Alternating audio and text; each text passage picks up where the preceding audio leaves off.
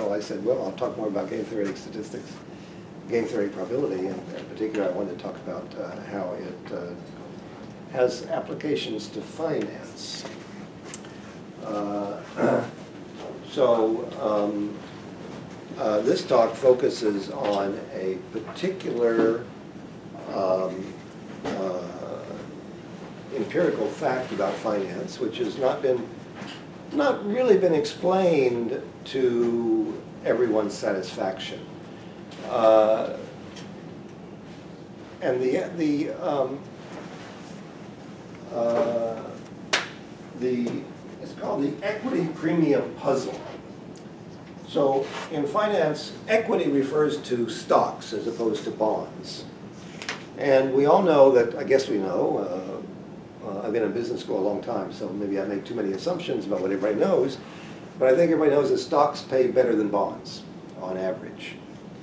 Uh, and there's a explanation for why stocks pay better than bonds is because they're riskier. Uh, so um, you're, you're willing to put your money into bonds because they pay a certain interest, and that, but they're safer than the stocks. Um, if you actually look at what happens in history, it's not clear this is even true. Uh, it may not even be true that bonds are safer than stocks. But in any case, the, the theory about their being safer uh, and the risk aversion theory basically doesn't work. Uh, risk aversion will explain some of the difference, but not all the difference. Uh, the premium that stocks pay is bigger than the theory can explain. Now, in economics, when you have something that simple theory can't explain, you make the theory more complicated. So there are, you know, several hundred explanations uh, of this anomaly. Uh, none of them are really, well, I, I, think I can fairly say there's no consensus. Uh, many people think they have an explanation, but uh, uh, everybody has a different explanation. Uh, and so none of them have convinced. so here, this talk gives a game theoretic explanation uh, and according to this game theoretic explanation, uh, the premium for stocks is really just due to speculation, uh, not to risk aversion. Uh, and this game theoretic explanation uh, accounts for the, how large, does a better job of accounting for how large the premium is. Um, so um, I focus on the equity premium because it's something very concrete. Uh, but really, from a theoretical point of view, uh, there's something bigger going on here, which is that game theory probability uh, can not only explain the equity premium, but it can explain why stock prices look like Brownian motion. So uh, this is a another common feature. Why? I mean, I could ask you, does anybody know other explanations for why stock prices look like Brownian motion? Why do they jerk around like Brownian motion or geometric Brownian motion? What's the reason for that? Jerks buy and sell stocks. Some people think it's because of objective probability. But the question is, why do the objective probabilities look like that? Uh, so uh, in this theory, this apparent stochasticity is a emergent phenomenon. Uh, it just results from uh, the speculation. So here's a detail. Um, this is something that was first reported in the 1970s.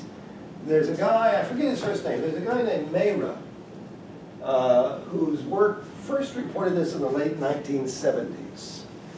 Uh, it's one of those typical, um, you know, discoveries. They couldn't publish it because nobody wanted to believe it. Uh, so Prescott, uh, Mehra was a student of Prescott. Prescott has won a Nobel Prize for his theory of rational expectations. which is the objective probability of economics, you will. Uh, but Mehra was a student, and Mehra noticed this phenomenon, this phenomenon that with the, the usual, the standard, he actually put numbers in and tried to see what risk aversion would explain, and he just couldn't make it explain what's actually observed. So Mehra uh, has made a career of this puzzle. Uh, published more and more about it, published an anthology of different explanations. Uh, and in 2008, there's a kind of a definitive review that he and Prescott made, and they said that actually stocks did six percentage points better than bonds over, over a century, from 1889 to 2005. And the standard risk aversion theory could explain that it should be one percent, do one percentage point better. Uh, so that is the discrepancy that needs to be explained. So here is the game theoretic explanation. Game theory explanation is that speculation is the primary cause of the volatility uh, of stock prices. In other words, stock prices vary a certain amount. Most of that variation is just due to speculation. That's uh, according to the theory I'm going to explain to you. Speculation actually is what makes the market efficient. Uh, so what does the market efficient mean? That means the prices are the right prices. You're not going to make any money from them because the price is already right. Why is the price already right? Because everybody else is out there trying every strategy they can to make money off of the prices. So speculation means that, that different people have different values that they. Most of the uh, most of the trading that goes on in the stock market, there's no question, most of the trading that goes on in the stock market is being done by speculators. Uh, their values don't have anything to do with it except they want to make money. Uh, because they don't hold the stock long enough, they're not investors. Uh, most of the trading in the stock market is short-term trading. But they're uh, guessing at what the value would be when they sell it, right? I was thinking. Well, it's hard to say whether these algorithms are guessing anything. Uh, the, most of the trading is, is being driven by algorithms, uh, which say, you know, if these other prices do this, buy this. If these prices do this, buy that. So you could say somebody is guessing something, but actually they're just running algorithms. Could be machines. They are machines. And furthermore, uh, the guy that's running this algorithm is running three or four other algorithms, they all contradict each other. Uh, because he only has to make money on one of them especially if they're algorithms that aren't risking too much and they're trying to multiply the money they risk, uh, then you only have to, to, uh, uh, to make money on one of them. If you have a new idea about how to uh, play the market uh, based on available information, uh, these guys would be glad to hear, hear from you because it's, no, it's easy for them to implement one more algorithm. They're already running many. So uh, the argument is this speculation actually forces, here's the key point. It turns out that speculation forces an efficient market. What's an efficient market? An efficient market is one where you can't make money off of it because somebody else has already made all the money by speculating. If the market is efficient, then it turns out that mere speculation will force the market to appreciate the market, that is the index of the market, the Dow Jones average or the S&P 500, that's better, will force the S&P 500 to appreciate, to increase in value in proportion to the square root of its, to the square of its volatility. Uh, the volatility is the square root of the variance, so the square of the volatility is the variance. So this is um, uh, this is one of the themes of our book from 15 years ago. We start, we don't start with a probability model. We don't start with objective probabilities or subjective probabilities. We start with a game. And the probabilities are the emerge from the game. That is the uh, uh, picture. So I'll repeat it again. There's three things I just said. One is the three roles of speculation. It causes volatility. Now, this is no secret. The fact that speculation causes volatility, people in the market, the traders know this. Uh, not the theoreticians. You talk, you go over to the math department and talk to the mathematicians that teach fin- uh, mathematical finance. They may not know this, they may not tell you this, they may deny it. But you talk about, the- you talk to the people who are playing the game, they will tell you uh, that the volatility is caused by speculation. Uh, There's a conventional wisdom, even in academia, that speculation is what makes the market efficient because it exhausts the possibilities of making money. If there's so many, enough people running enough algorithms, anything you could think of, then you go out and run one of those algorithms, you're not gonna make any money because that's already been priced out of the market. Uh, It's already been, squeezed. any money that we made that way has already been squeezed out of the market. So uh, you and I are not gonna get anywhere. But our theoretical contribution is this third point, that the speculation forces the market to appreciate in proportion to its volatility squared. Is there a maximum that a volatil- volatility could be depending on the size of the, or something about the market? Is there a maximum volatility could be? Um, It Actually, would be helpful to Well, we'll to I'll look understand at what the definition define volatility. Yes, we'll define it. Uh, It's a percentage change, so I guess as a practical matter, it's maximum. What if you allowed insider trading information? Will it still overcome uh, the advantage that people with insider information have? Uh, When you say it's efficient, I think that's what that's called. What is that called? The super efficient hypothesis that not even Yeah, insider trading? no, I'm talking about, well, the insiders are probably also making it efficient by exhausting any possibility you can, uh, that you and I can accomplish anything. Uh, But I'm not, that's not my theme here. Oh, Okay. Um, Are you gonna, will you define, is, is there a specific, is there a uh, precise meaning to speculation? That, or, Well, I'm kind of giving you some words to understand what I'm going to do mathematically. So uh, after you understand what I'm doing mathematically, maybe you want to change the words. Uh, I think, so speculation is a little bit provocative. Uh, But I will quote, rather than using my own words, let me quote John Hull. So the leading author, the the leading textbook author on, on option pricing. So when I, when I taught in our, when I taught option pricing in the Rutgers MBA program, I used John Hull's textbook.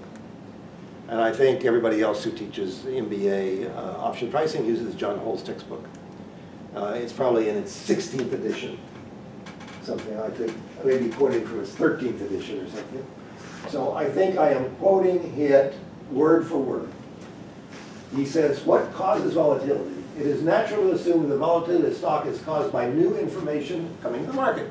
You get new information, the price goes up. You get some discouraging information, the price goes down. He says, this new information causes people to revise their opinions on the value of the stock, the price of the stock changes, and volatility results. This view of what causes volatility is not supported by research, quoting Mr. Hull. The only reasonable conclusion from the actual research is that volatility is to a large extent caused by trading itself. And traders usually have no difficulty accepting this conclusion. So those are the words of uh, Mr. Hull. Uh, Let me see. Uh, I guess I've left out, I used to have some slides which give some more information about this. What is the research that, that justifies this, that trading causes volatility? Uh, So volatility is the um, amount that the uh, stock varies. Let's say, the amount of the stock varies, uh, the amount of the price changes uh, from month to month, up and down. Uh, Or you can measure it on a daily rate, you can measure it on a monthly rate. Uh, Here's a way that you can, that historically, here's a what, here's something that has increased volatility. If you increase the trading time during the day by 15 minutes, that increases volatility. The amount of change up and down every day goes up if you increase the amount of trading time by 15 minutes a day. That's been observed historically. If you look at, if you look at weeks when there's a holiday, the volatility is less.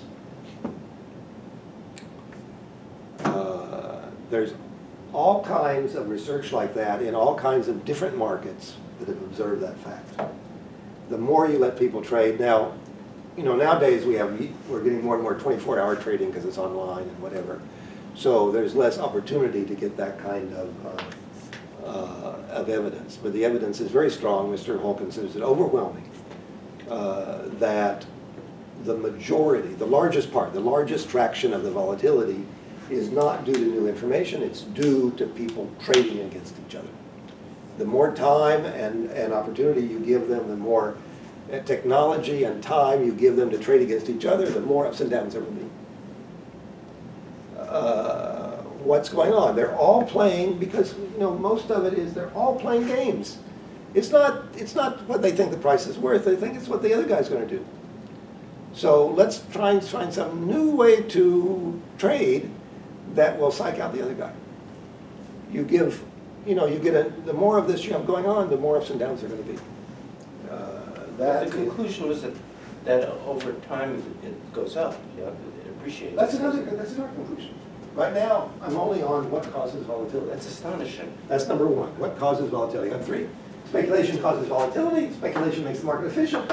Speculation causes the market to go up. Those are, but I'm only on number one. Speculation causes volatility. Now, what, what is an efficient market? In 1965, Eugene Fama, who got a, who got a Nobel Prize for this, uh, wrote papers, a paper about how um, an efficient market is one in which the prices incorporate all the information. Uh, In 2001, we gave our definition of an efficient market.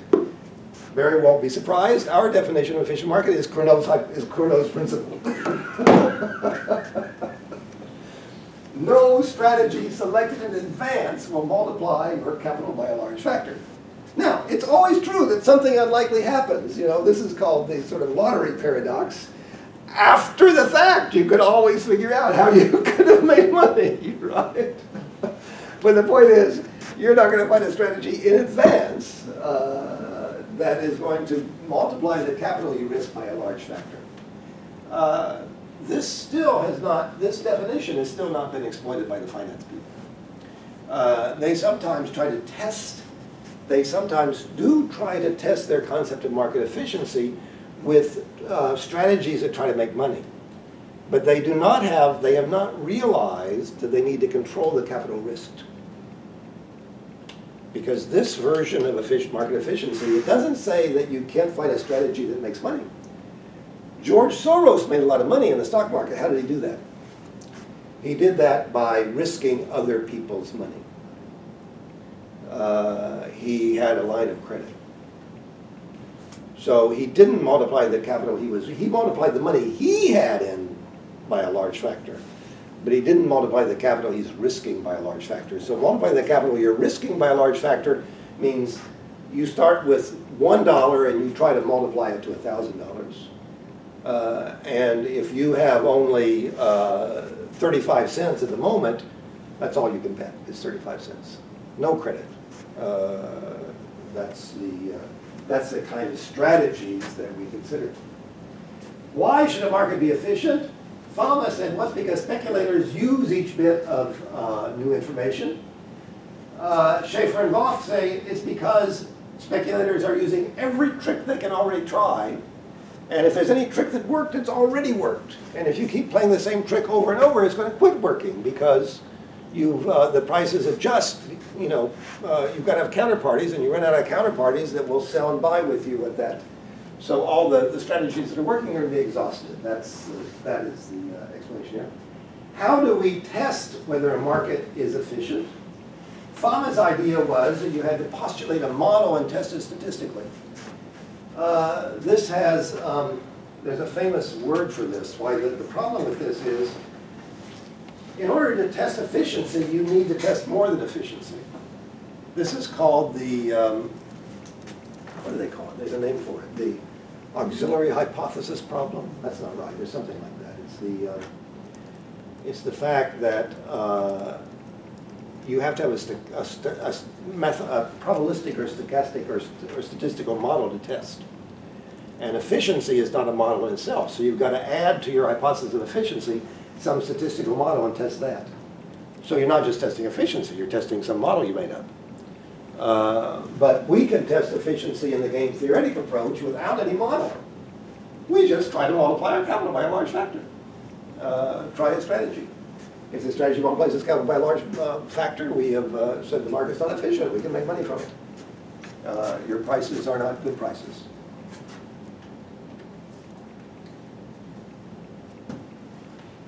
We define a trading strategy. you have to put your money where your mouth is, I guess. Yeah, yeah, or we can just do it theoretically. We've gotta do it in advance. So we multiply our money by a thousand, we reject that hypothesis of efficiency, and that's just like a significance level of one to thousand. Uh, That's the, uh, uh, that's the concept. Um,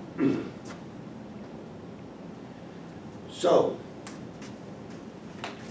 what is it we think is efficient? Now, I've been talking vaguely about the efficient market. The reasonable hypothesis is that there's a market index which is efficient, like the S&P 500. Now, basically, the S&P 500 index in uh, the American stock market, for practical purposes, the S&P 500 is the entire market. The stocks that are not in the S&P 500 are, are a negligible, are, you know, a small fraction. Uh, So uh, if you invest in, so there are now funds which allow you to basically invest in the entire market. Uh, And that means when the index S&P 500 goes up 5%, your money goes up 5%. If the S&P 500 goes down 5%, your money goes down 5%. Now, how do they do that? Um, As prices of stocks change, the composition of the S&P 500 index changes.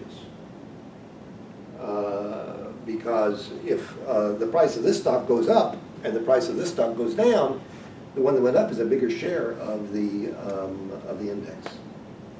So uh, somebody who wants to hold the market needs to adjust for that. You need to sell the loser and buy the winner. So there are people that do that, that track the index. So, and you can buy, they, so there are various, um, these are exchange traded funds. And for instance, Vanguard will sell you a, um, uh, a fund which tries to match the S&P 500 and does a pretty good job.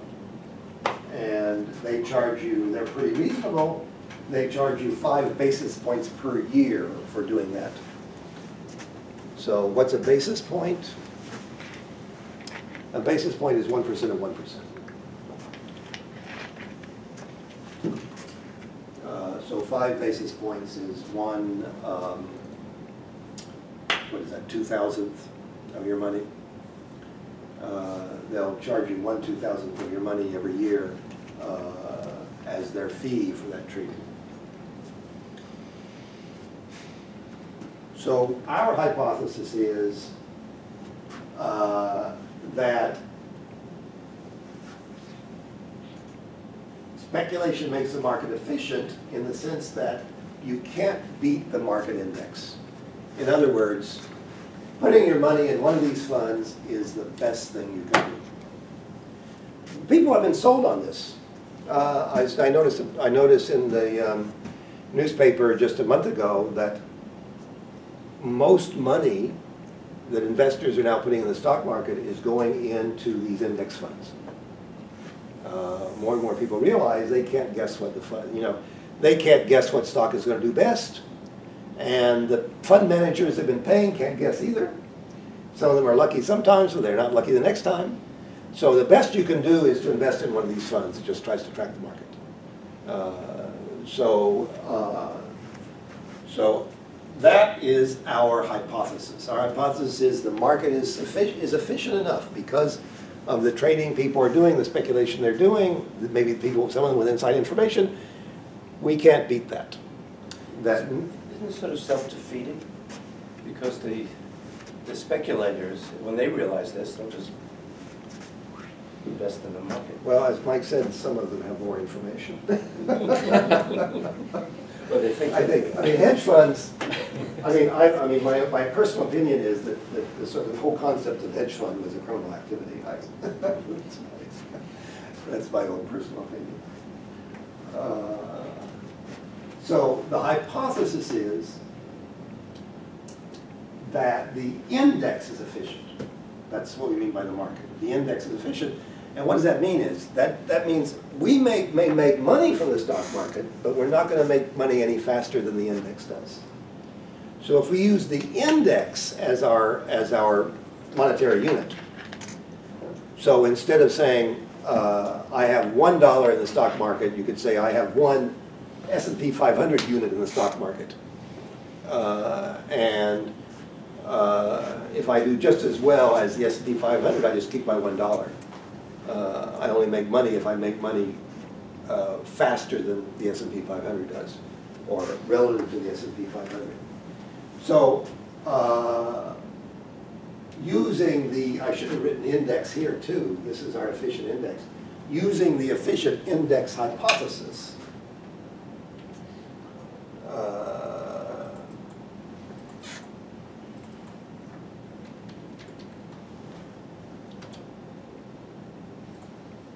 using the efficient index hypothesis, I will show you how to prove that the market index must grow in proportion to its variance. Now, I'm going to assume uh, zero interest rate. That is an assumption that um, actually is not a problem uh, because um, traders and specula- speculators do not trade with cash. They trade with a uh, money market account, which pays the sort of risk-free rate, government rate of interest for short-term, the, the rate of interest for short-term federal, uh, Federal Reserve um, securities. Uh, So instead of taking, so instead of trading um, uh, in units of dollars, you can trade in terms of units of the money market account, and that effectively makes the interest rate zero. So I assume I don't fool, I don't worry about interest rates. Assumption is the interest rate is zero. Uh, I'm measuring things in that way. Uh, So I'm going to call the index I. Now, uh, I'm going to define what volatility and variance is. So this would be, um, this would be something you learn in your uh, finance class in business school. Uh, So um, let's say the value of the index is, in the first period, it's I zero, then it's I one, et cetera, up to I capital N. Uh, And the returns, this is a term that they use in finance. What is your return? Uh, Your return is like, what percent do you make on your money on each period? The periods could be days, they could be years, they could be hours, they could be seconds or microseconds, depending on how fast you're trading. Uh, Some of these high-frequency traders trade, you know, in fractions of a second. Uh, So the return is what percentage you make on your money uh, in that period. So you take the, how much, how much money you have in the next period, divided the money you started with, and divide one, subtract one. So if you started with five dollars, and you now have ten dollars, you've doubled your money, uh, this number is two, and you subtract one, so it's two. So a return of two is like two hundred percent. So more typically, if this were one dollar and this is a dollar five cents, then minus one, your return is 0.05, that's five percent. Uh, So that's the return on your money.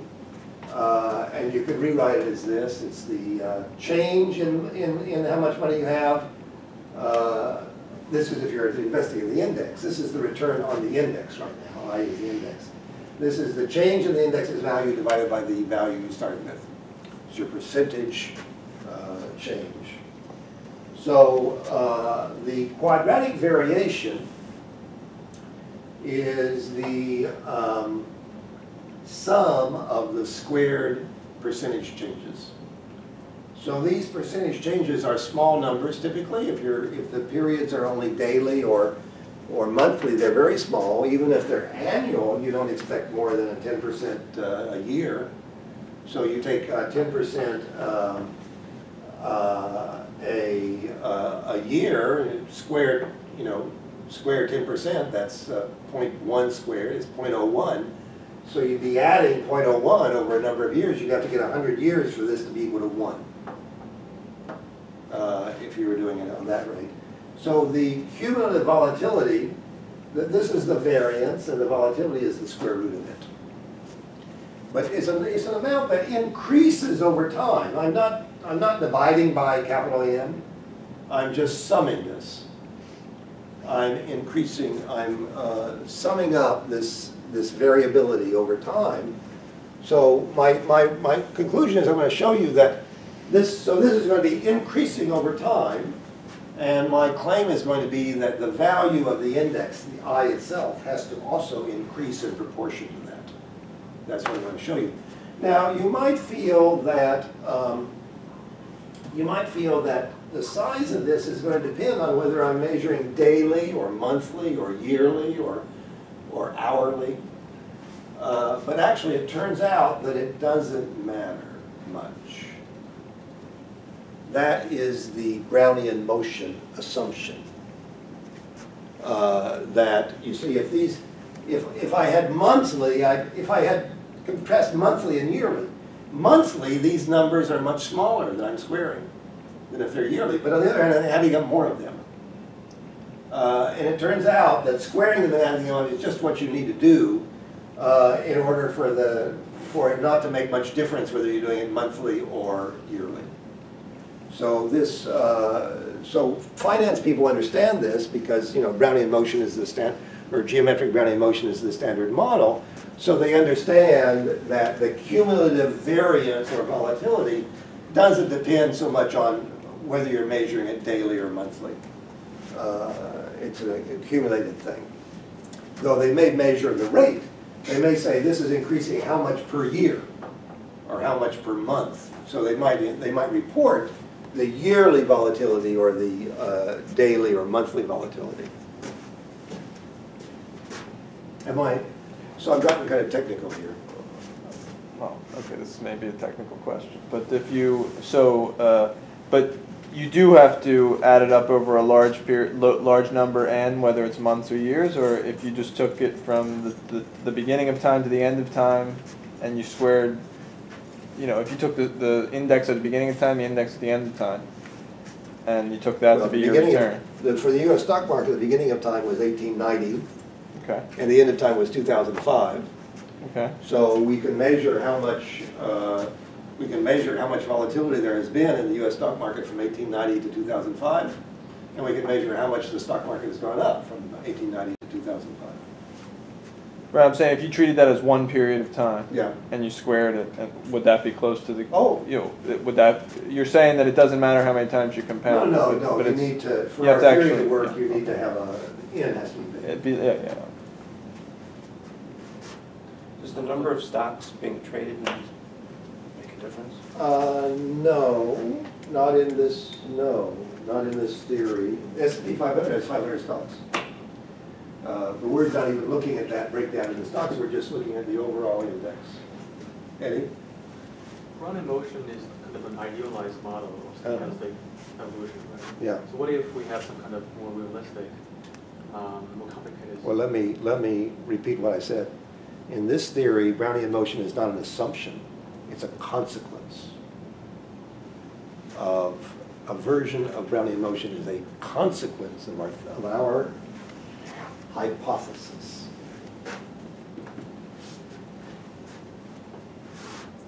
So, Is it trivial to see why it's a complicated? pardon? Is it easy to see? Yeah. Uh, No, that's why I'm going to take an hour to explain it.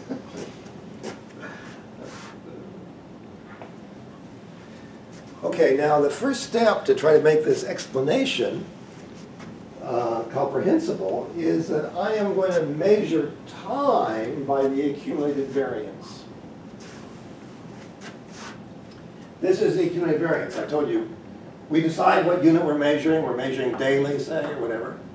Uh, and then I'm going to measure time by how much uh, variance there is or volatility. So, uh, you know, think about it this way. Uh, sometimes the stock market gets nervous, it seems like, and the volatility is going up and down very fast. Think of that time is moving faster. Then things calm down, and the volatility is like, well, time is moving more slowly. So we aren't measuring in calendar time, we're measuring in volatility time. Uh, Let's take that to be our unit of time measurement, just to keep things simple.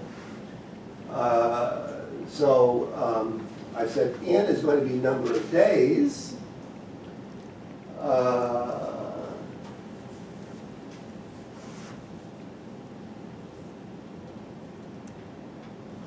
So, so on this slide, I, I say we are going to uh, get something out of our hypothesis. I'm now explaining, I'm going to explain something that is a consequence of Brownian motion, but also a consequence of something more elementary. So how do you get Brownian motion? How do you get the, the, uh, the assumption of Brownian motion? The, the classical way of thinking about it is that the, remember, MN is the change, the return for that day. So classically, what people think is that today's return is independent of tomorrow's return. So today, the price has changed because of new information. Tomorrow, you're going to get other new information, which is going to be independent of today's, or at least uncorrelated. Why do people think that's true?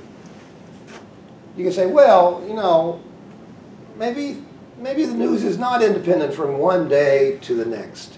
Maybe um, I'm now I'm now arguing in favor of the of the of the conventional theory, not my own theory.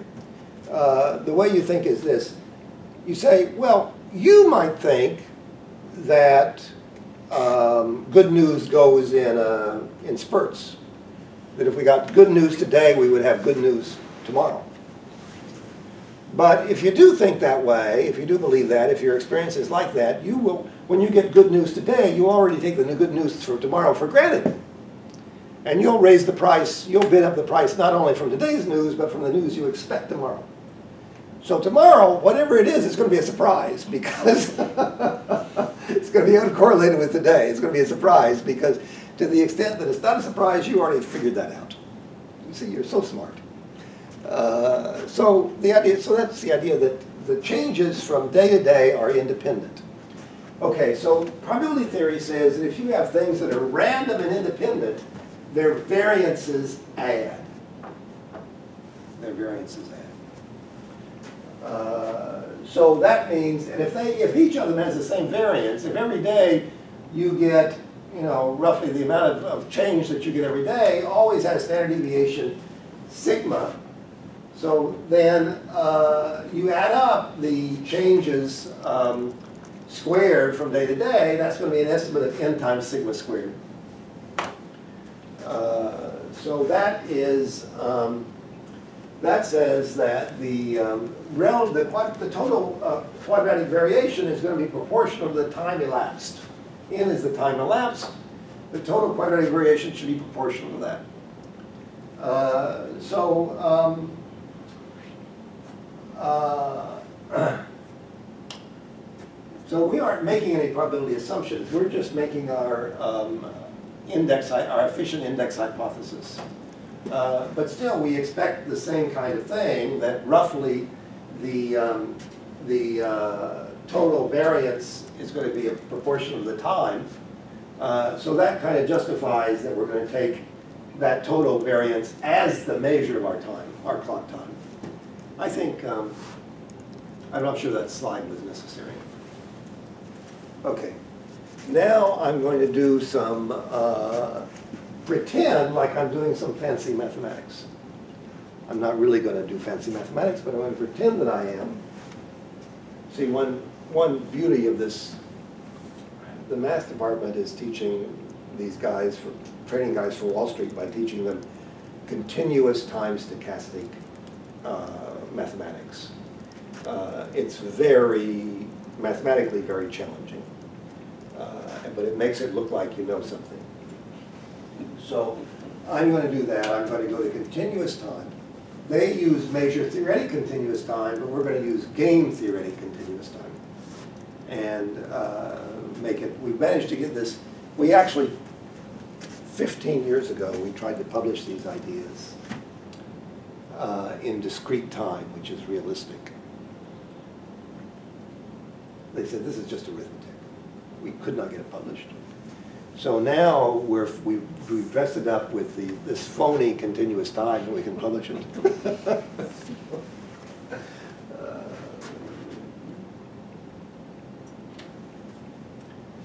So, um, we're gonna measure time by the cumulative variance. So now we think about these returns as infinitesimals. Uh, and, but we're going to write, I'm going to write I sub s for the value of the index at time s. Now, for the time being, when I use this little s, I am measuring time by the cumulative variance. I just write sigma, that's the cumulative variance. Observe, you know, the cumulative actual variance. Not a, usually the word variance is used for something theoretical. But here I'm using variance as is used in finance sometimes for the actual accumulated squared changes. Uh, that's my sigma, and I'm measuring time by that sigma. So I sub s is now the index, the value of the index at time s, where s is measured in elapsed variation, not in clock time. And I'm going to assume that uh, at time zero, when I start, the index's value is one. That's like taking the speed of light as one. Uh, I'm taking the value of the S&P 500 as We could have the same debate as the S.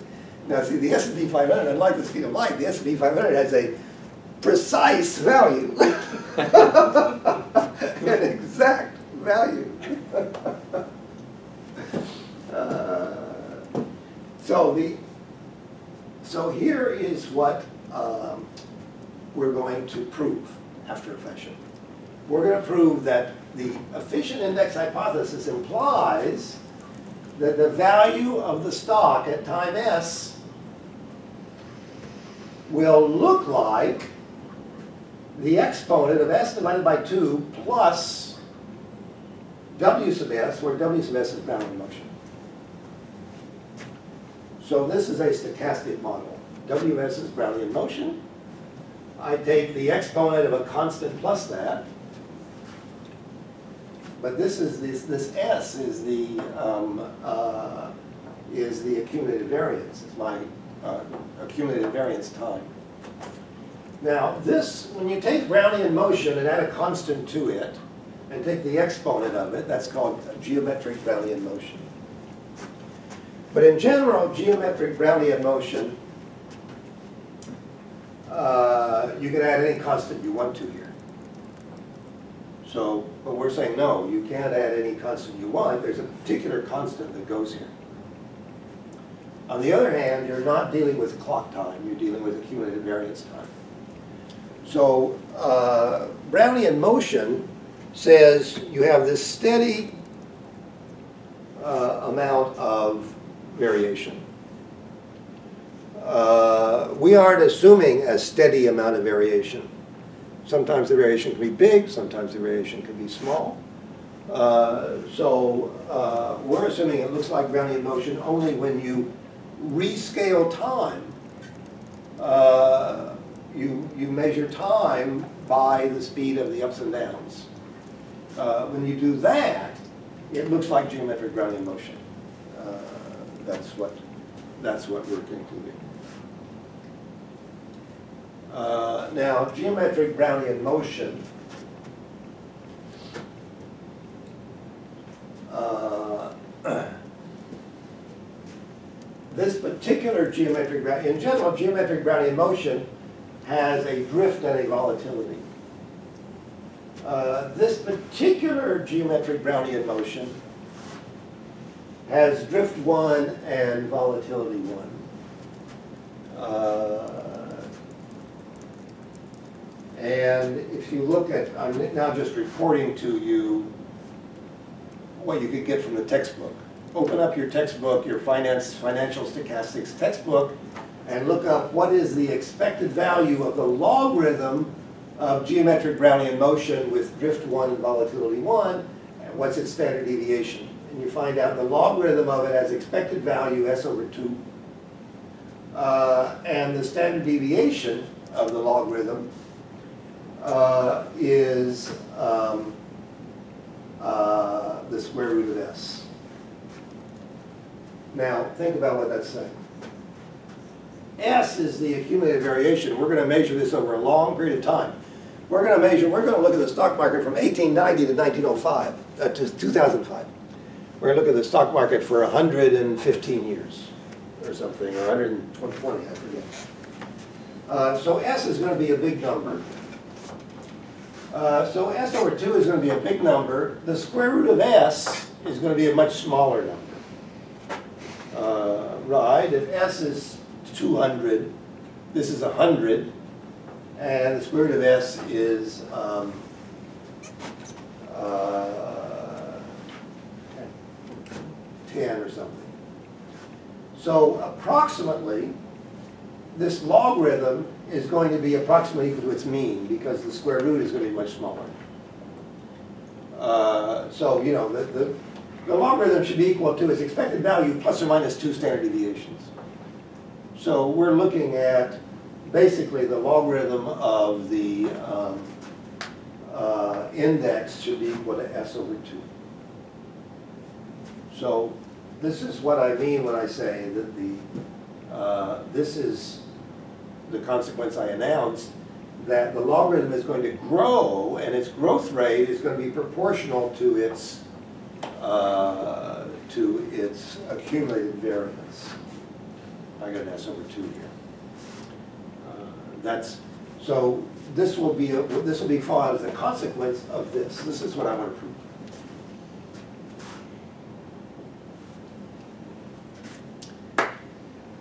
So this is my, this is what I'm going to show. I'm going to show that when time is measured by cumulative variance, uh, the logarithm of the uh, index is going to be equal, approximate the um, uh, elapsed, the accumulated variance divided by 2.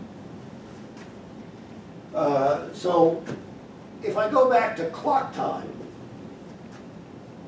remember S is equal to uh, the accumulated variance, so I'm going to substitute that symbol for accumulated variance, and this, this equation is the same one as this, except uh, I, I, I was using this little s to make it look like time, now I'm substituting in the, in the sigma to remind you that it's really accumulated variance.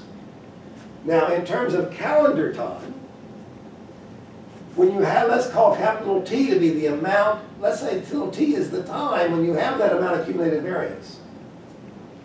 So I can put I can put t here, but here I've got the accumulated variance at time t.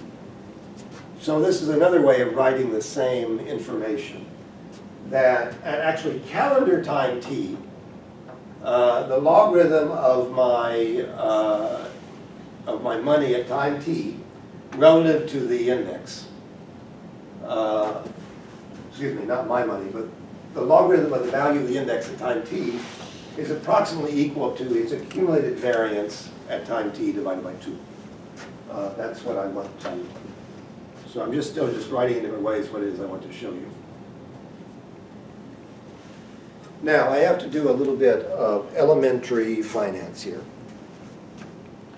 I've got to start by explaining to you that the average return overestimates growth in finance. Let's say, let's say that you, um, let me, uh, let's say you invest your money with me. And uh, that on average, I produce zero return for you. Some years I make money for you, some years I lose money. But the average return is zero. What's going to happen to your money if you invest it with me? If the average return is zero, what's going to happen to it? Uh, IRS takes the gains. Worse than that. Let's say there's no taxes. What's going to happen if, if one year your money goes up ten percent? It's gonna go away. Barry's right. If your money goes up ten percent one year and goes down ten percent the next year, what's happened? You started with hundred dollars. The next year you have hundred and ten dollars. Now what's, what's, what's ten percent of hundred and ten? Ninety-nine. It's eleven. You subtract eleven from hundred and ten, you have ninety-nine dollars. So if the money goes up and down, up ten percent, down ten percent, you've lost a dollar. Right, so average return overestimates the growth. And the bigger the variance is, the worse that is. Let's say your money goes up, let's say your money goes up by fifty percent the first year. You give me your money, you give me hundred dollars, next year you got hundred and fifty. Now it goes down fifty percent. What's fifty percent of hundred fifty? Seventy-five. Now you got seventy-five dollars, right? So the bigger the variance, the more money you're losing uh, if the average return is zero. So if my, if I can give you average return ten percent, and the variance is big enough, I can easily make, I can easily get all your money very quickly. I can, you know, so financial firms actually do this, they advertise their average return. Uh, And that very advertising, advertising average return is, is, is a kind of a fraud. Uh, Because uh, you can have a high average return and be losing money. Uh, the average return overestimates the growth in variance by half the variance. Excuse me, the growth in value by half the variance. So you can do that with some simple math, the Taylor series of a logarithm. Uh, you can understand that. And I don't know for this audience whether I want to talk about Taylor series of logarithms. The Taylor expansion of the logarithm of 1 plus x is x minus 1 half squared. Uh, So this is like half the variance.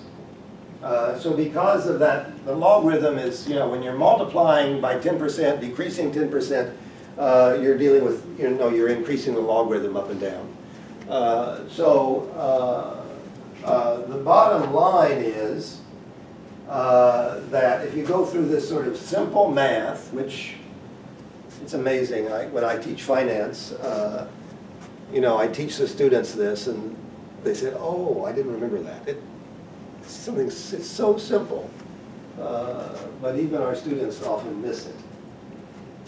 So this says that the index, the logarithm of the index, uh, is going to be equal to the total growth, the sum of the returns. See, here I've got, uh, this is the return, and I'm adding it over all the years, or all the days.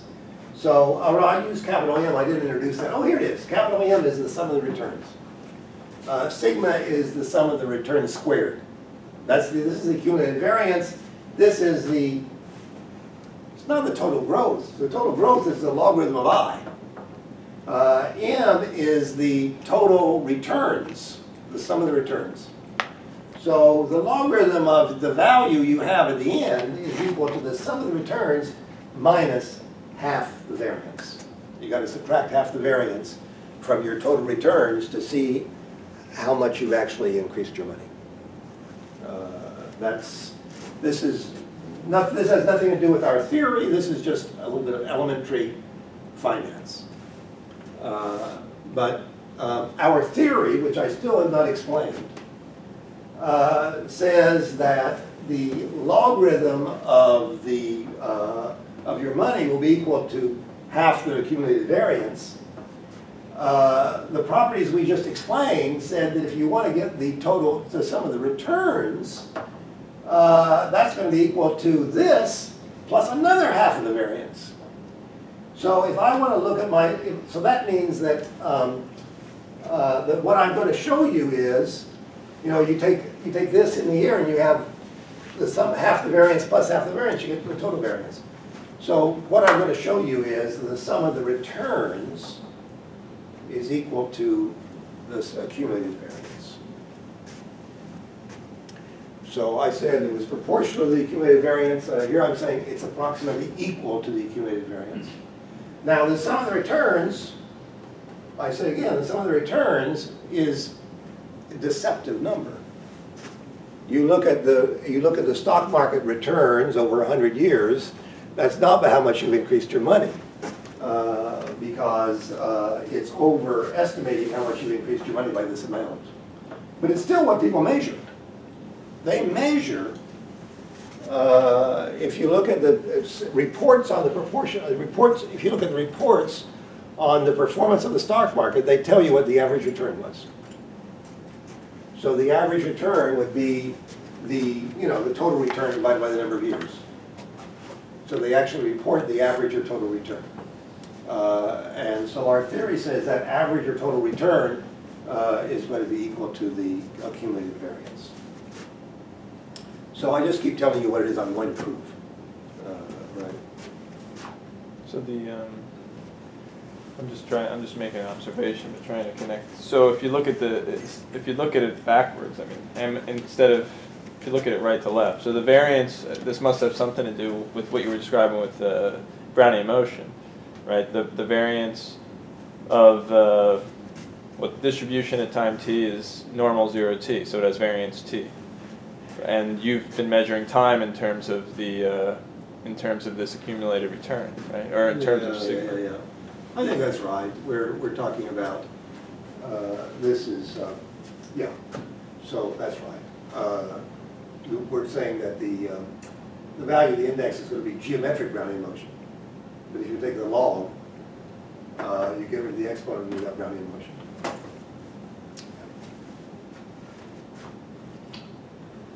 But still, even after you take the log, you've got, um, after you take the log, you've still got the log, you don't have m here. You have the log, uh, so the difference between m and the log is still giving you that other s over 2.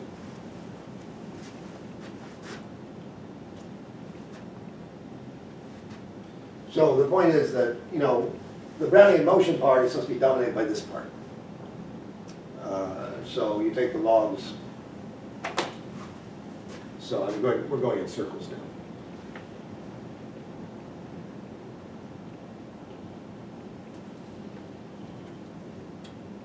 Okay, so um, here, here is the, uh, here are what the actual numbers are. Uh, So the annualized volatility of the S and P 500 um, is approximately 20%. Uh, That means this number here, uh, this, um, uh, this accumulated variance is the square of 20%, that's 4%. 0.2 squared is 0.04. So that is the, um, uh,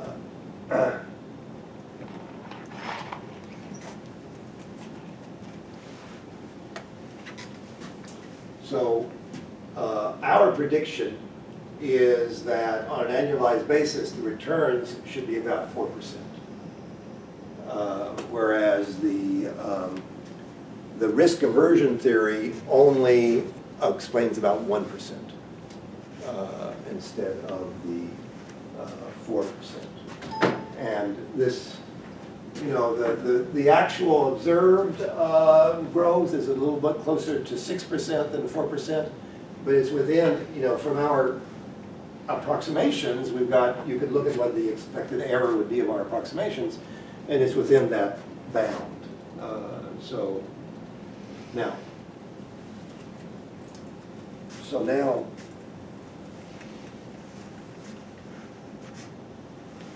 so I, I've all, I've been working through to explain what it is that I want to prove to you.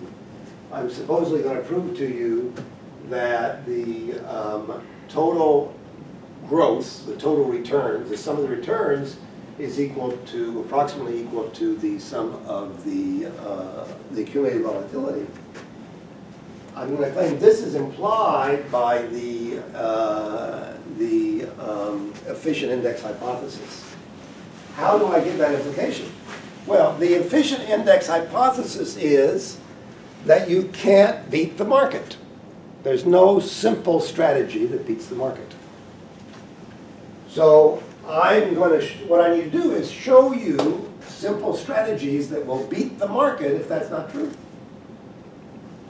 If the market doesn't grow at the same rate as its va- variance is accumulating, I should be able to beat it. Now, obviously, I need two different strategies. I have one way of beating the market if it is not growing fast enough,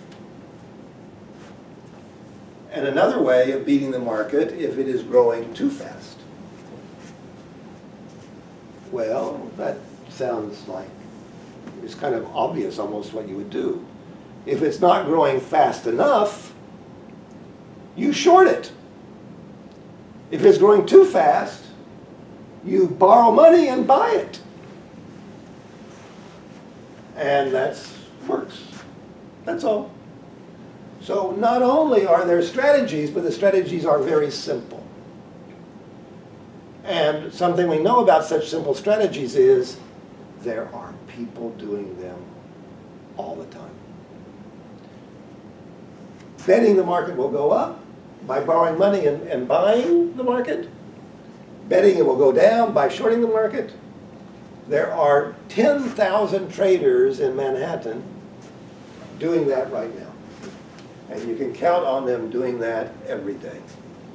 So uh, you have an explanation of, of you know, uh, why this is happening. You have an explanation of why you, the market looks like a kind of Brownian motion. So the trading strategy, uh, so, you know, this gets, um, the previous slide where I had Taylor series, I skipped over it. Uh, This is the same thing as going on. If the, if the, if the accumulated volatility is too much greater than the market uh, growth, uh, then I am going to short the market. uh, And, um, no, if it's growing too fast, if it's growing too fast, I'm going to put money in the market. That means that I'm going to take my current capital and I'm going to invest one plus more. I'm going to invest more money than I have in the market if it's growing too fast. Uh, And uh, so I've got to do, and when I do that, uh, the market is going to grow at the rate 1 plus m, but I'm going to grow at the rate 1 plus 1 plus epsilon m because I have more invested in the market than the market does. Uh, So I'm going to take the logarithm of this to see how, how fast I'm growing. I'm going to, you know, I'm going to take the logarithm of that, and I again have a Taylor series of the logarithm. And I get the Taylor series of the logarithm has a, um, uh, you know, has this squared term where I'm squaring this and I get a, uh, you multiply that out. So I don't, you know, it's- a very simple arithmetic. Uh, But, um,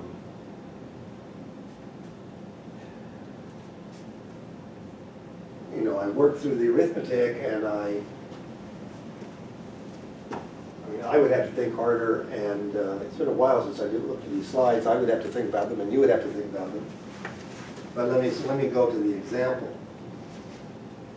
Let's say that I invest one percent more money than I have in the market. Uh, In that case, I will multiply my capital uh, relative to the index uh, by e to the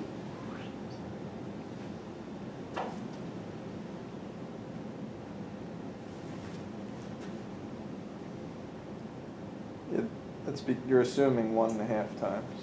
I'm assuming these things, yeah. Yeah. if I'm assuming that if uh, the market uh, is uh, half, half again as big, and if the accumulated, if the accumulated return is fifty percent more than the accumulated variance, uh, but also, uh, the accumulated variance is so big that the um, uh, one percent of it is three. So that means the accumulated variance has to be three hundred. So that means I have to do this not just for ten years, but for 20, 30, 40 years uh, to get that big accumulated variance. Uh, So I just choose these numbers as examples. In that case, uh, I will multiply my capital relative to the market by four and a half times. So that's something I needed to do over many, many decades. And then, you know, I turn it around, if the money go, if my money goes, if my uh, index grows too slowly, uh, then I don't invest all my money in the market, I put some of it in the risk-free bond, uh, which is like cash, since I'm assuming zero interest rate. uh, And of course,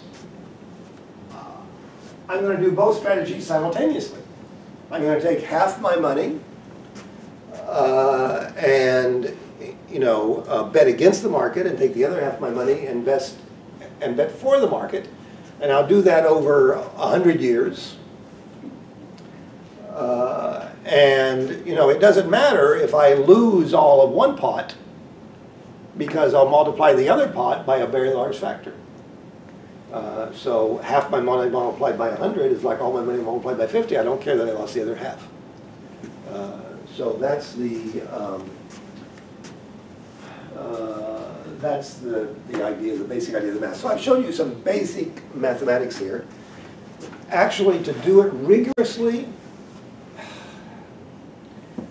you know, my colleague Volodya, you met him, or he came and gave a seminar here last year. Uh, He's written a bunch of papers, some of them have my name on them, because I started doing this work with him, but I, I should say one thing. I'm making it here look like we're doing Riemann integrals, but actually to make it work, you gotta do Lebesgue integrals. Uh, So that's fancifying it, but in some sense, you know, the real world in the stock market is not continuous, it's discrete.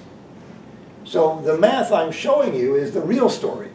Uh, The fancy papers that we had, to- that he- that Volodya's been writing to, you know, get in the math journals is, uh, is kind of the phony version, if you will. Uh, You know, this in some sense is the real version of the story. Um, Okay, I just wanted to, so, um, I thought you said earlier about George Soros that you don't allow lines of credit, or was that, what is this, is this epsilon not, you're, you're, you're borrowing money, is that, is that different? Yeah, you, that's, uh, no, it's not. You gotta put a limit on it. In other words, that's a very good point.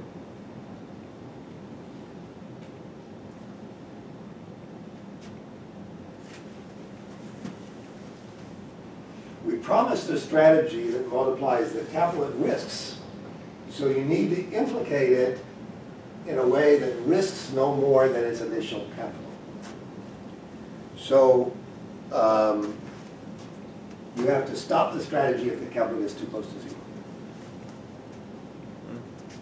Right, so you are, uh, when we do this in the, in the discrete time, you do have to make an assumption that in one trading period, you're not gonna lose it all.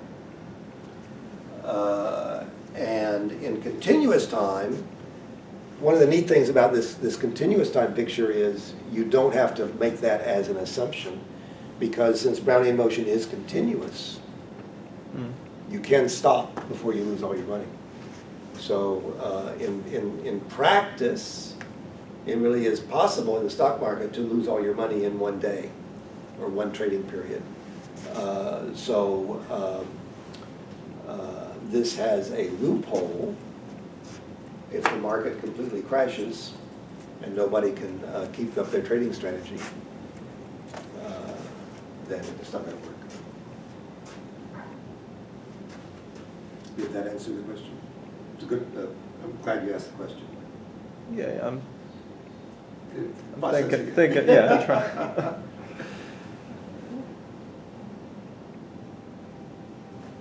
So, uh, the last thing to say about it is, um, what are the macroeconomic implications of this?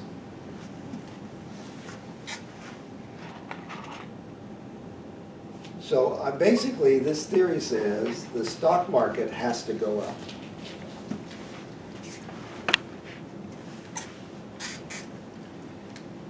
Now, the stock market is about half of the economy. What's not in the stock market?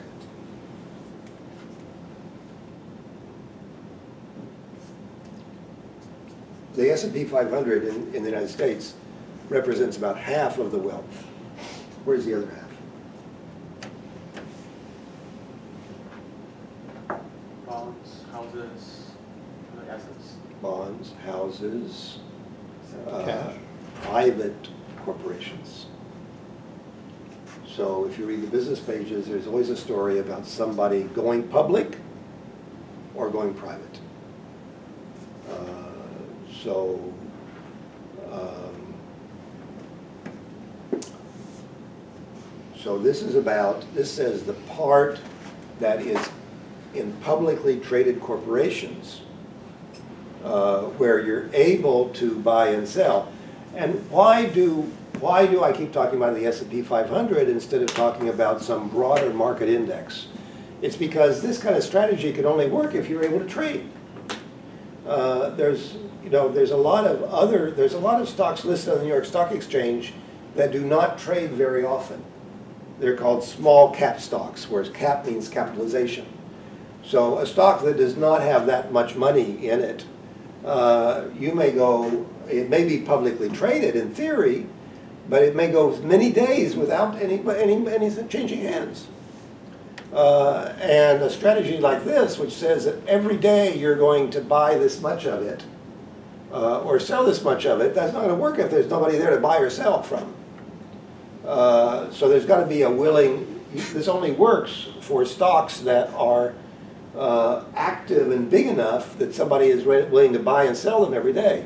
You go and you go to the market and you see what the price is, and you say, "I want to buy." Uh, you see what the price is, you say, "I want to sell."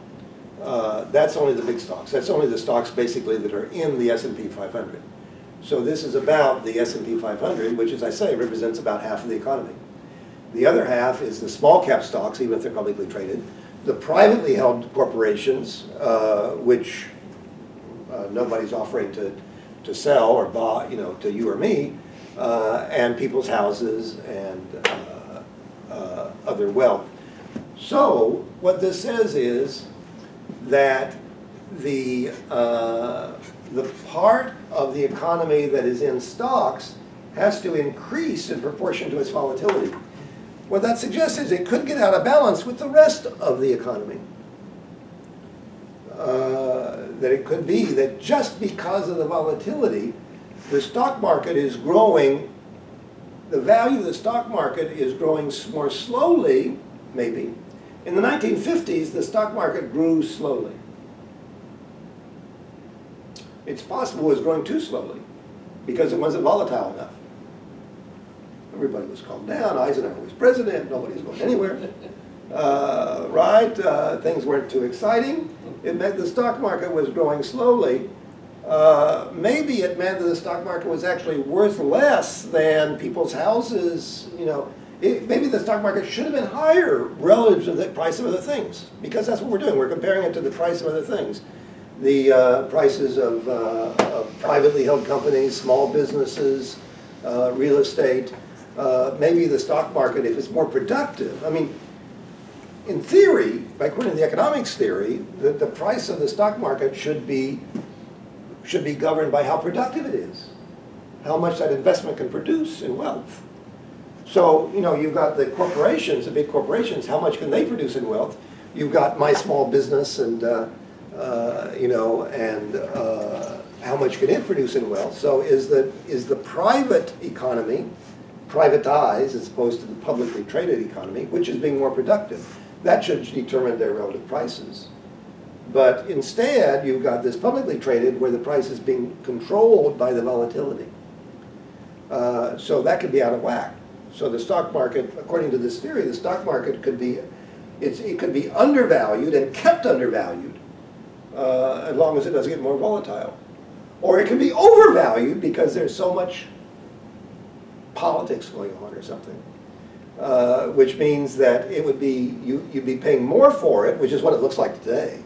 I mean, in the 50s it might be undervalued, but today, all this uh, craziness keeps its price going up, up, up, up, up, relative to uh, other productive uh, sectors of the economy.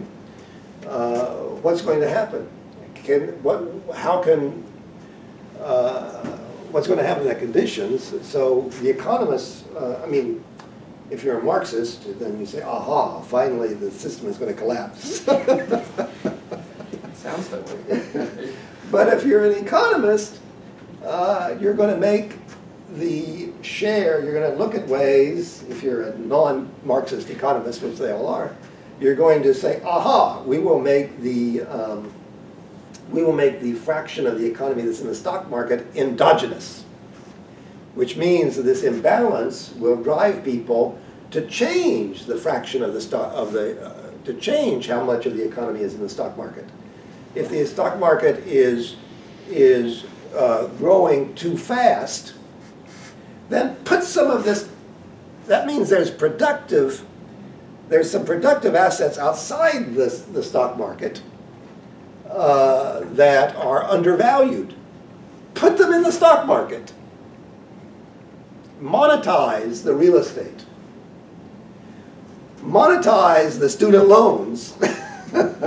Make them into things that can be traded in the stock market. Uh, whereas if it's the other way, if you're in the 1950s and the stock market is undervalued, uh, then uh, you want to take uh, uh, those undervalued things and, and take them out. So anyway, I probably garbled what I just said, but I think I got across, hopefully got across the idea that this, that the fraction that's in the stock market is not stable. You can privatize companies that are in the stock market. You can take companies that are uh, in the stock market, that are not in the stock market, you can take them public, uh, et cetera. So uh, to the extent that these pressures are actually uh, come to bear, you could get economic reactions uh, from the speculation. So this is um, this is something that uh, you know Volodya and I have been trying to sell to the finance people for 15 years. Uh, but uh, for a more philosophical audience, uh, my point of it is that there are things that look like objective probabilities. The stock market looks like Brownian motion, uh, that are really just uh, emergent phenomena that is a product of, of, of the game.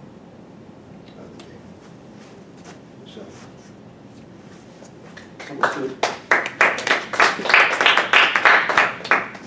The game is people um, buying and selling stocks. Well, why isn't that probabilistic itself?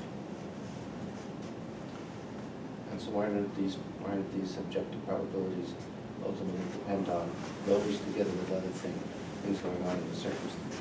Well, I mean, I, you could call anything probabilistic if you wanted, but what in fact is going on is that there are thousands of people using, you see, the, the strategies that I talked about are very simple strategies. The two strategies that are being implemented here are that you overinvest in the market systematically, or you underinvest in the market systematically. And you don't have to do that with immense amounts of capital. Uh, So there are thousands of speculators on Wall Street that run strategies like that all the time. Uh, Were they, are there some kinds of objective probabilities that cause them to do that? Or do they have free will, these guys? Uh, It's clearly uh, people playing, people deliberately speculating that's produces, that produces it. Yeah. So giving it a, a more fundamental probabilistic explanation seems like kind of a complicated uh, uh, addition to what's obviously If you think that um, everything is made up out of part, uh, you know, atoms or molecules, and you think that there's a statistical account of how, what state they're in, you'll think that, that these apparent emergent probabilities are also emerge from, um, from statistical mechanical probabilities. Does that help explain it though? Doesn't it make it puts harder to It puts it in a understand? big picture. So you- understand where all probabilities come from. Uh, I think, but another aspect of the picture is that, I mean, hearkening back to, to Abraham Wald and Ed von Mises, we are talking about a mass, what were their words? Um, Repetitive events and, and mass phenomena. Um, So you, you, it takes some time before this will emerge. You need to, uh, it doesn't emerge with a few trades. It takes an intensity. Eddie? So, suppose the world is very simple classical mechanical model uh, phase space. You can also talk about the Brownian motion emerging from the mechanical laws, F equals ma, finding particles position momentum. Right? Um, that seems to be analogous to the case here, where you have. Why, why does Brownian motion emerge from F equals ma? Well, basically, you look at the, um, the phase space trajectories of. Uh, Oh, you know, in Einstein's Brownian motion? Eddie is helping me out. So basically, if you just think about particles taking random walks in the phase space. Um, Well, random walks do produce, yeah, random walks, uh, Brownian motion is the limit of random walks, yeah. Right, emerging from deterministic dynamics. Uh, Okay, I'm not, Yeah, because they- the particles are, you know, collide with each other, or they, they're under electromagnetic forces, and it's- in classical mechanics, they're just following This deterministic is a- laws, but this is a, certainly this is not the same theory, because we have, what you have is time rescaled. You have a specific geometric Brownian motion with rescaled time. So it's a different emergence than you would have in, uh, that Einstein found Oh, no, no, no, I don't mean the Einstein original version of Brownian motion. I think satisfies both the geometric Brownian motion and the usual Wiener process. What does? the uh, phase space dynamics. It's not scale invariant completely. Um, so you have to take some time averages over some periods. You- I don't, know. I don't, I mean, you're saying different models could produce different versions of Brownian motion. Yeah, that's, that's is that what you're saying? I mean, obviously, a single Brownian motion cannot be both geometric Brownian motion and regular Brownian motion. Uh, They're not the same thing, Are they mutually exclusive? yes. One of them takes negative values and the other one doesn't. Uh, This is a, this, these stock prices cannot take negative values. So it's a, it's a version of geometric Brownian motion. But it's a, it's geometric Brownian motion with a particular drift and volatility, but then with time rescaled arbitrarily. I see. I think they're pretty much similar, right? Standard Brownian motion and this type of Brownian motion. Depends on how, Wasn't this The- Continuous time. that something, that something can take negative values, you may regard that as important or not. Isn't this a function of, I mean, you can, you've expressed it as a function of Brownian motion or not? Yeah, geometric Yeah. Brownian motion is a, Function of W. is an exponentiation of Brownian motion. Yeah. That's right. That's right. But the time rescaling is something, well, I'm sure you going could find examples in physics of time rescaling too. I mean, there's a lot of emergent property, there's a lot of things in physics that you can be treated as emergent properties. Uh, Emergent stochastic properties, but, and it has a similar feature, the emergence. I mean, one feature that is similar is that you don't get the emergence unless you have enough particles interacting. Right, right. And in physics, obviously, you could also have situations where you have fewer particles interacting and you wouldn't get that emergence. Right. Uh, And it becomes large, it becomes Yeah. large, now you have the open phenomena. I was wondering, when you talk about time in- invariance, sorry, time scaling invariance, that's broken. I didn't say invariance, I said time rescaling, yes. Right, so that's broken in this model, right? Time scaling invariant is broken in this model. I think the word invariant is misplaced. Time is arbitrarily scaled. There's no question about, we aren't talking about anything that would be invariant to time. Just that time is rescaled by the volatility. Right, so that's why I'm confused, because Brownian motion usually gives you a scale invariant model. Scale, what scale, what scale are you, you're not, you're talking So about? rescale time, you get the same kind of uh, Brownian motion. But in this model, it's not the case. You rescale time. What do you mean by rescaling time? I think if you just take Brownian motion over the unit interval and you multiply by t, then that's, that's the same as Brownian motion over Brownian motion. your, you zero t, between zero and t. Well, that, that has, That's, what- is that what you mean? Yeah. I don't think that's, that's not the issue here, is the issue is that time is moving faster sometimes than other times. There's a variation in the speed in which time is moving. Uh, I mean, it's still true that if you, you'd have the same kind of picture if you change the scale at which you measure it, but still you'd have that variability, that variation in arbitrary way. Okay. Uh, This is in fact what you do observe. You do observe uh, uh, this stochastic, this. The the finance, uh, mathematical finance people have come up with lots of very complicated models to try to, um, uh, you know, non-standard models that are, that are, make this and that stochastic. Uh, This is, in, in comparison to what they do, this is a very, this is a simpler picture.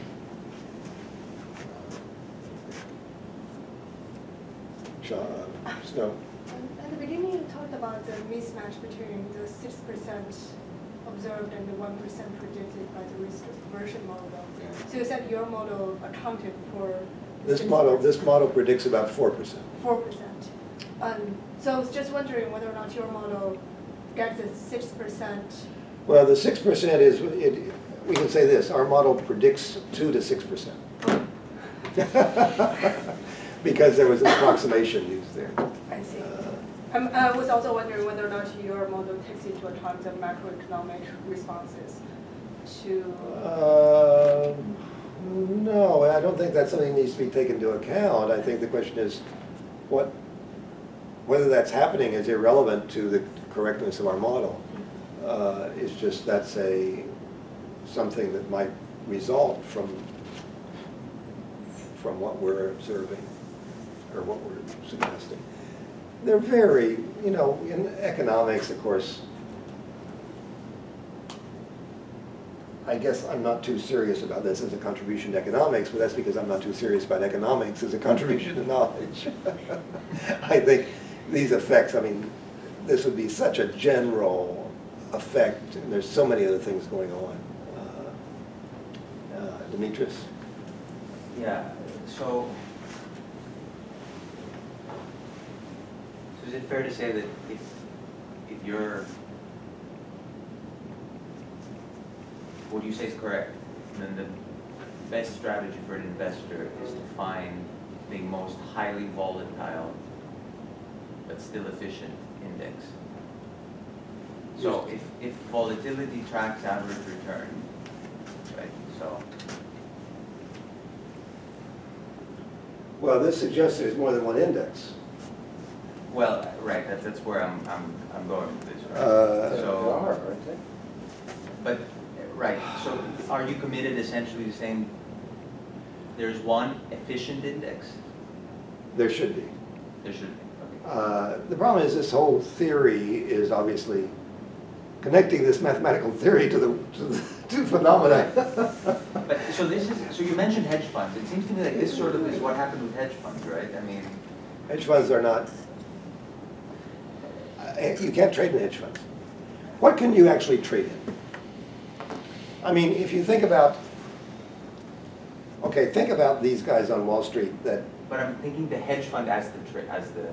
Trader. As the trading entity. yeah, yeah, the traders, the head, some of these people are work for hedge funds, or they just work for some rich guy, or they work with their own money. Okay, so you think about all these guys sitting uh, in their living rooms or in somebody's office and uh, somebody's trading floor doing this stuff. What, what can they trade in readily? Well, there's also, aside from the S and P 500, there's some foreign exchange traded funds. You could, you could start trading in currencies. That's a little bit unstable. Uh, So the S and P 500 is not quite the whole universe of what people can trade off on. So, so there would be, so to try to make this theory more accurate, you would want to say these guys are not really dealing with the S and P 500. The S and P 500 is all we can get data for. But you could, you could imagine that there's a better, that they're in the real world. Uh, There's a better, um, something a little better than the S and P 500, which represents what people really can trade. Uh, And that would be the, the total value of that would be the index. Uh, But I don't see a world where, I'm not imagining, I mean, maybe what you're suggesting, I mean, your question would suggest, okay, we've got the guys in New York that are doing this. Maybe if they could go off to Athens, and maybe there's a world there that is not, that you can't get to from New York, and you can't trade it back and forth, but just in Athens, you look at what's available to you there, maybe that's a completely different world. And if it's more volatile. Maybe you can invest there. But on the other hand, how do you get out? I would recommend Go to another, go to, go to another planet. But, but, but it, it seems like, it, I mean, that's, that's, it seems to be a very interesting consequence of, Yeah. of the theory, it's correct, something that's even testable somehow. Have you ever tried Well, about that? In the sense of that I- I don't, well, no, because I, I don't really, under- I- well, no, this is all the tests we've done. But I, I don't really see these independent uh, places where you've got separate indexes that you can't trade off against each other because they're in different locations, a different planet, et cetera. I- I- And and if you, But I'm thinking, maybe I'm thinking, okay, tell me, let me. I mean, in some that sense, this has been, this kind of equity premium has been tested in several different markets. The US is the only one where we have, where we can, the US is the only place where we can plausibly trace a history of more than 100 years. So it's harder to test it uh, uh, in other isolated markets. I mean, there was, you know, the, the British and, uh, you, you don't have a continuous, uh, record. I mean, we've had some crashes in the US, but there's basically a continuous record. Whereas Germany and France, uh, we don't have.